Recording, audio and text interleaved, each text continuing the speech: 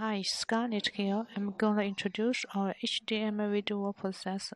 It supports picture-in-picture input source preview, cross-screen, four windows per screen, app control, and show-on features. If you have any question, please don't hesitate to contact Scarlet at bhg.com. Thank you.